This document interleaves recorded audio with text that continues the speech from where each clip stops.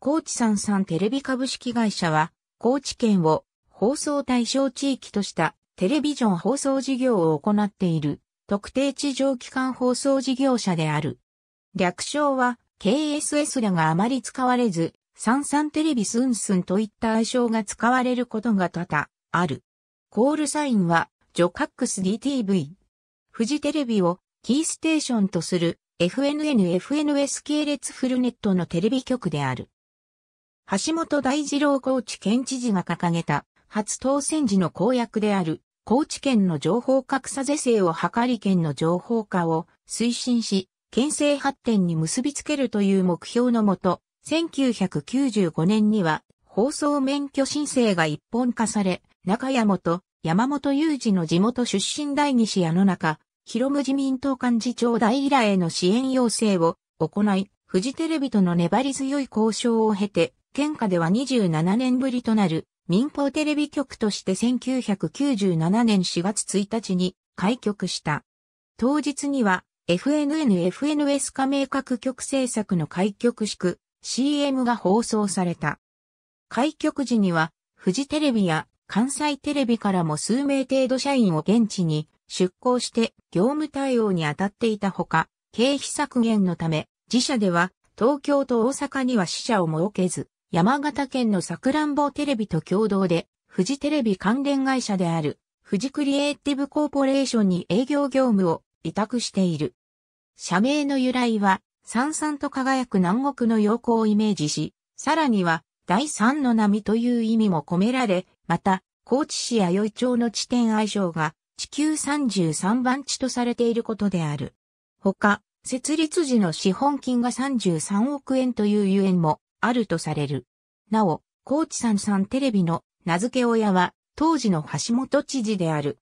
高知県に民放テレビ第3局目が割り当てられた当初、フジテレビが高知県への進出に難色を示していたこともあってか、テレビ朝日系列局としての開局を目指していたが、前述の経緯でフジテレビ系列局となった。現在高知県にはテレビ朝日系列局、テレビ東京系列局はないが、本局ではテレビ朝日系列局制作の番組を、権利切れの再放送番組を除いて放送しておらず、テレビ、東京系列局制作の番組は口述の通り、ごくわずかに放送している。デジタル放送のリモコンキー ID は、キー局のフジテレビ、準キー局の関西テレビ等と同じ。8で、フジテレビとは、校長や局の物理 21CH も同じ。企業、団体は、当時の名称。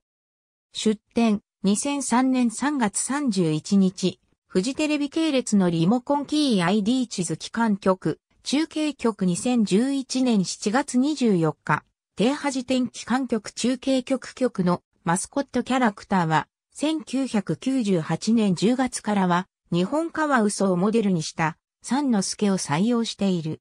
開局から98年9月までは恐竜をモデルにしたサンサンザウルスを採用していた。キャッチコピーは開局から長きにわたり元気新鮮サンサンテレビが用いられた。その後のキャッチコピーは気になるテレビが使用されていたが、2016年10月からは翌年4月に開局20周年を迎えるのを機に笑顔になろうよサンサンテレビが使用されている。ロゴは桂浜に浮かぶ朝日をイメージ。また、ロゴタイプは、馬場雄二の作品を使用。突起のないものは、フジテレビ制作。テレビ、東京系列その他の番組書きの番組のうち、スポンサーネット扱いの番組以外は、本局開局の半年前に、高知放送での放送が打ち切られている。ほかほかほか、ここでは、高知県出身者については突起として記す。ハットサンサンテレビ同様に、橋本が公約した県内大学設置構想に橋を発する高知工科、大学も1997年開学している。ハットサンサンテレビは産業経済新聞社との資本関係はないが、1997年4月1日付の同誌の中、四国向けの版に、高知にフジテレビがやってきたの見出しで、全面広告を掲載した。なおフジメディアホールディングス、関西テレビ、テレビ新広島との資本関係がある。また、テレビ高知は、産経新聞との資本関係がある。テレビ朝日系列の番組は先発の2局が放送している。なお、高知県と同じくテレビ朝日系列局がない地域に存在する富山県の富山テレビ、山陰2県の山陰中央テレビ、佐賀県の佐賀テレビではテレビ朝日列局制作の番組は一部放送している。また、福井県の福井テレビもテレビ朝日系列局制作の番組は一部放送している。デジタル放送は NHK のみ設置。ほとんどは出力が非常に小さく受信世帯数が少ないミニサテライト局である。このうち NHK 高知放送局のみ設置されている地域の一つである田野町には、道庁が設置、管理している県内民放三局共同のキャップフィラー方式による中継局が設置されている。デジタル中継局の数は NHK 高知放送局が68カ所、県内民放3局は54カ所設置。親局完成の9年後には同じカシオ山に NHK 高知放送局の地上デジタル放送の送信所が建てられた。サービス放送以前にも高知放送でネットされていたが、当局開局に伴う系列番組移行準備のため1996年9月に放送が打ち切られている。高知放送では月曜引く金曜の17時18時に放送されていた。1996年9月27日放送分をもって放送を打ち切り、増刊号も同時期に打ち切りとなった。高知放送では、1993年3月まで月曜引く金曜の13時30分14時に放送。1993年4月から1997年3月までは放送する曜日はそのままで14時14時30分の放送だった。高知放送では特番編成時の穴埋め番組として不定期にネットしていた。ただし高知放送では、1994年3月に放送を打ち切っている。打ち切りの理由は、ネット対象が FNS 加盟局に限定されたため。ただし高知放送では、3時横井。終了後の1995年10月から1997年3月までは未放送だった。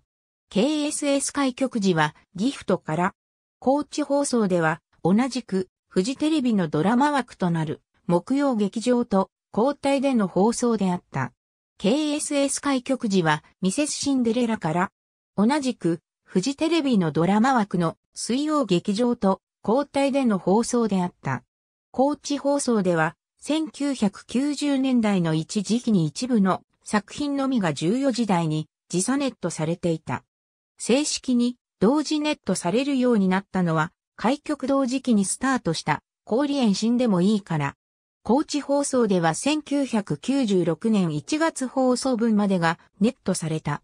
その後開局記念特番として1997年1月放送分がネットされ、1998年1月放送分から正式に同時ネットになった。高知放送では同時ネット局から24時間30分遅れの月曜19時19時30分の放送だった。高知放送では不定期に別タイトルでの時差ネットで放送していた。高知放送では土曜昼に放送された。